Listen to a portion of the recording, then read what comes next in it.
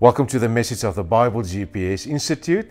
Today we're going to focus on Philippians chapter 3. We continue our series on the wonderful book of Philippians. But before we do that, I just want to thank you for your ongoing support, your prayers, and for your continued support when it comes to the donations. I'm so thankful for everyone donating to our ministry. We need all the donations. We want to thrive. We want to increase our impact in the world. So thank you so much for your ongoing support. Before we going to read Philippians chapter 3, let us just bow our heads in prayer. Lord God, we want to thank you for this amazing day. Thank you, Lord, that we can focus on your sovereignty, on the fact that you are the Lord of heaven and earth. But we also focus on the fact that you are with us, that you're not aloof, but you surround us with your amazing love and compassion. Thank you, God, that you have also given us your word the ancient text that we call the Bible, because we know that the unknown future can only be navigated through the compass of an ancient text. And we know that the Bible is current, it is clear, and it is trustworthy. Thank you, God, that we can also pray that this word can take deep root in our hearts. In the name of Jesus we pray. Amen. So we're going to read a few verses from chapter 3, and the main focus will be verse 8. Finally, my brothers, rejoice in the Lord. It is no trouble for me to write the same things to you again, and it is a safeguard for you. Watch out for those dogs, those men who do evil, those mutilators of the flesh. For it is we who are in the circumcision we who worship by the Spirit of God, who glory in Christ Jesus, and to put no confidence in the flesh, though I myself have reason for such confidence. If anyone else thinks he has a reason to put confidence in the flesh, I have more. Circumcised on the eighth day, of the people of Israel, of the tribe of Benjamin, a Hebrew of Hebrews, in regard of the law, a Pharisee, as for zeal, persecuting the church, as for the legalistic righteousness, faultless. But whatever was to my profit, I now consider loss. I consider everything loss compared to the surpassing greatness of knowing Christ Jesus my Lord, for whose sake I have lost all things. Now, I think you will agree with me that we live in a time where most things are given a monetary value. You have a house and it is worth something. You have a car and it is worth something. We look at the contracts of sports people and it has a monetary value as well. So, most things in this world we give a monetary value. And even when we look at people, we say that that person has a self worth, especially famous people. And last week, the world has said goodbye to a very famous person. His name is Charlie Watts. He was the drummer of the Rolling Stones and he died at the age of 80. And he had a self worth or a net worth of 250 million dollars and that's a lot of money i cannot even fathom so much money and many people would desire to have so much money because you can do a lot with so much money. That was his net worth 250 million dollars. And it's interesting that he was the drummer when that one song of them became so famous i ain't get no satisfaction. That song is probably according to the people who know rock music very well, probably one of the top 10 rock songs of all time. Satisfaction, but the full title is I Ain't Get No Satisfaction. And when you read the lyrics, it is where the person on the radio said, if you want to have more, more, more, and then the refrain of the song just continues by saying, I ain't get no satisfaction by getting more and more and more. And I remember one wealthy guy was asked one day, When is enough enough for you? Then he just said, Just a little bit more. Because most people are not satisfied with where they are in life and what they have in life. People just always want more. And the people in the advertise business, they know it very well. So they target people and they will tell you you need more. Because if you have more, you will be satisfied. But I think the title of the Rolling Stones, that well known rock song, resonates with most people because it is true. I ain't get no satisfaction. But it's interesting when you read Paul. Paul had a lot of things that he could value. He says in this chapter that he was, he was uh, in, in terms of legalism, a Pharisee. He came from a very good tribe, Benjamin. He was well educated. He had everything that people wanted in those days. Paul had it. And then Paul said, I look at that and I count it worthless. And why would Paul do that? Because Paul had discovered something that surpasses all value in this world. It is the ultimate value. And when you grasp what is the ultimate value, that will give you joy. Because value and joy, they go together. People will spend a lot of money to buy something they value because it gives them joy. People will pay a lot of money to go to a sports event because it gives them joy. So value and joy go together. But Paul says, you know, I have discovered the ultimate value. It surpasses all value things that you see in this world. And that is the reason why Paul had so much joy. Well, when we look at the gospel, now every Sunday you hear the gospel in sermons, and the gospel has many different angles. And when you read Paul, Paul gives us many angles on joy as well in one of the previous messages on Philippians, I said the reason why Paul was so joyful because he had good perspective. He looked at his chains in prison, then he realized, but I'm not chained. You cannot change the good news. And it had started a chain reaction. The gospel spread it.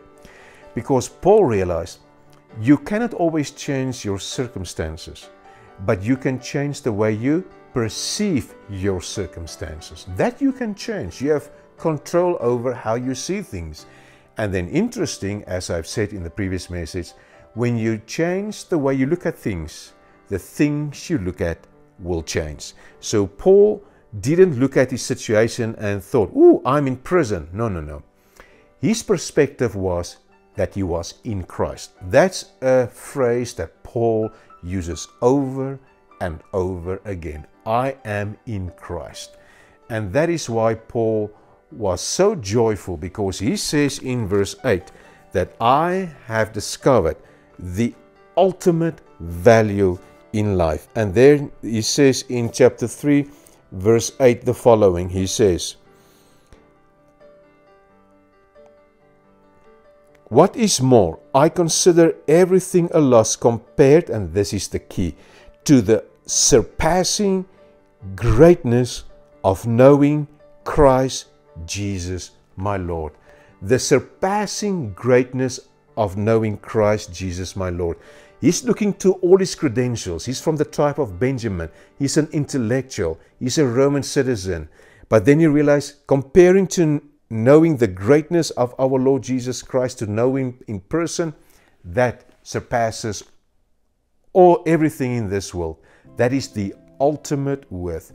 Now, I just want to ask the question, and I was thinking, but what gives that the ultimate value? Why is it the ultimate value to say, to know Jesus Christ as my Lord? That is the ultimate value. That surpasses everything else, all the other values in this world. And that will give you satisfaction. Why is it why Paul could say that Jesus Christ is the ultimate value and it will surpasses everything else in this world and it will give you satisfaction in prison he could say I have joy. He didn't say, I want a little bit more. He said, I experience joy. 16 times in four chapters. I just want to give us three reasons. There are many more. But the first reason, when you read all the letters of Paul, there is one thing that stood out for Paul in his life and when he, when he thought about God. It was grace, the word grace. Paul said, I'm saved by grace, not by works. In Ephesians 2, he says it very well. He said in Ephesians 2, verses 8 and 9, he says, I'm saved by the grace of God, not by works. And then he gives a reason, so that no one can boast.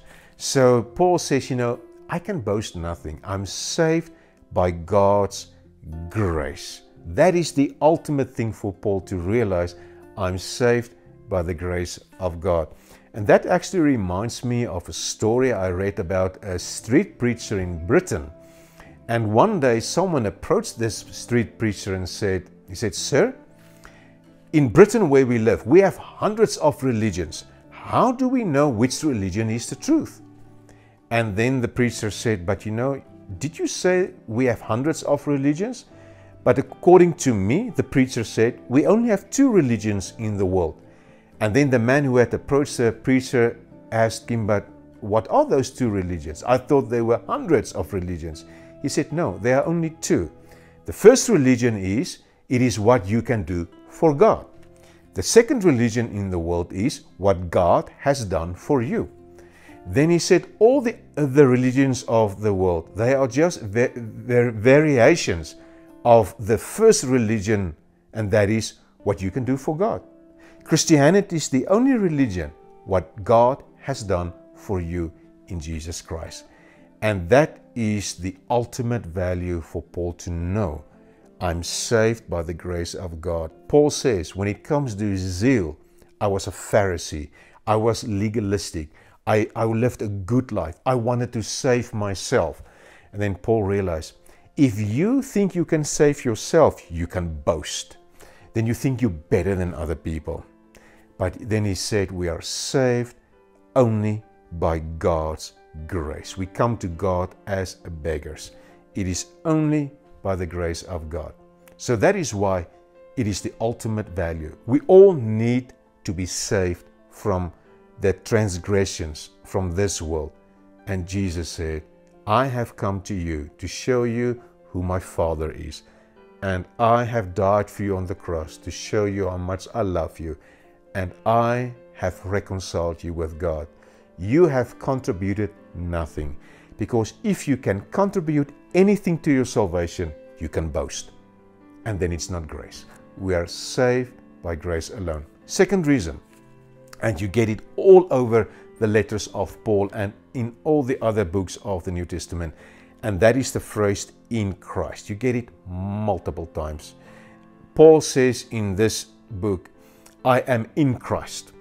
So Paul didn't think of himself that he's in prison or in Rome. He realized, I am actually in Christ. This is where my heart is. This is where I belong. And Paul realized, I'm a believer, but I'm also a belonger. I have a home. I belong to Jesus Christ. He's my Savior. I belong. And that is why when we baptize people, we baptize them in the name of the Father, the Son, and the Holy Spirit. Because when we baptize someone in the name of God, we say through that, this is where you belong. It is like when you buy a house. The house is now in your name. And when we baptize someone, that person is now in God's name. That person belongs to God. And that is the ultimate value to know that you belong. You belong to God just because of the love of Jesus Christ, and no one can separate you from that. That is the ultimate value. So, for Paul, it was all about Christ because he says in verse 8 of Philippians 3 the, the greatness of knowing Jesus Christ as my Lord that surpasses all other values in this world. It's the ultimate value, the greatness of knowing that Jesus Christ is your Lord. And the word Lord means God. So to know Jesus is to know God. Just imagine when you say Jesus is my Lord and Savior, you have a relationship with the Creator of this universe. He's not far away, He is with you. And you can, can pray to Him and you can say, Our Father. And that is just amazing. And that's the ultimate value for Paul, and it needs to be the ultimate value for us. And that needs to give us satisfaction. So, number one, we are saved by God's grace. I can just relax. I don't need to earn it because I will never achieve it. All the other religions in the world is what you can do for God. Christianity is what God has done for you in Jesus Christ. So, number two, it is that we belong. We are in Christ. So, for Paul, it was all about Jesus Christ because Jesus is God in flesh. I had a supper the other day with a colleague of mine in a different city, and I told him that one of our previous members of the church, after he had left, told me that I am too much about Christ. And immediately this minister responded. He said, My friend, you need to take that as a compliment. And I have never thought about it in that way, to take it as a compliment. So, yeah, we need to be all about Christ, and you can never be enough about Jesus Christ because He's God. And that's the ultimate value is to know God and to know that He knows you. So, the first reason we are saved by God's grace not by works. The second reason, I am in Christ, I belong. That's why I'm all about Christ. Third reason, when you see everything in this life that we give value to, your car, your house, anything, then there is one sentence that will ring true for everything in this world. It will ring true for everything. And that one sentence is, This too shall pass. But there's one thing, and that is the ultimate value that you cannot say, This too shall pass. The love of Jesus Christ cannot pass. Because the day that you pass on, when you die, Christ's love will still be there. Nothing can separate you from that. That is why Paul says in the book of Philippians, to live for me is Christ and to die is gain. So why is that to die again Because he knows nothing can separate me from Jesus Christ. That's the ultimate value. And that surpasses everything else because everything in this world you can say, this too shall pass. Even your life, this too shall pass. I saw a quote the other day and it really made me think. The quote said something along these lines. It said, you can live your life and every day without Christ, but you cannot live the day when you die without Christ. You can live without Christ, but if you die without Christ, the Bible makes it very clear, then you're lost. And I don't really know how that will look like, but that's the truth. You can live without Christ, but if you die without Christ, you are lost. And we never know when that day will happen. So don't postpone. Embrace the ultimate value. And what is the ultimate value? Not to do things for God, no, just to be open to the grace of God and to say, Jesus Christ is my Lord and my Savior. I promise you, that is the ultimate truth. Because there will come days in your life that the things you value at that certain day, you will realize it doesn't mean a lot. Like when you end up in the hospital, you get bad news from the doctor, then you realize the car that you have in your garage, the cottage you have, it means nothing when it comes to your health. But in the end, the ultimate value is to say, I belong to my only Savior, Jesus Christ, who is Lord. Let's pray.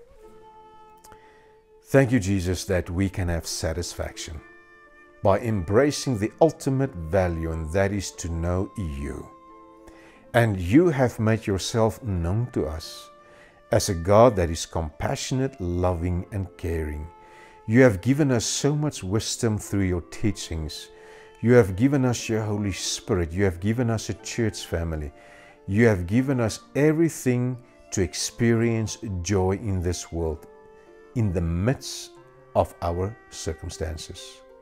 Lord, we can have the newest smartphone, we can drive the newest model, we can have the most beautiful cottage, but in the end, that too shall pass. But there's one thing that can never pass, and that is to know you, your amazing love. And that gives us joy. When you discover the ultimate value, then you will have joy that surpasses all your understanding. Thank you, Lord, that we can experience that your word is current, clear, and relevant, and it has authority. I pray, Lord, that you will guide us in this life to embrace this ultimate truth. Amen.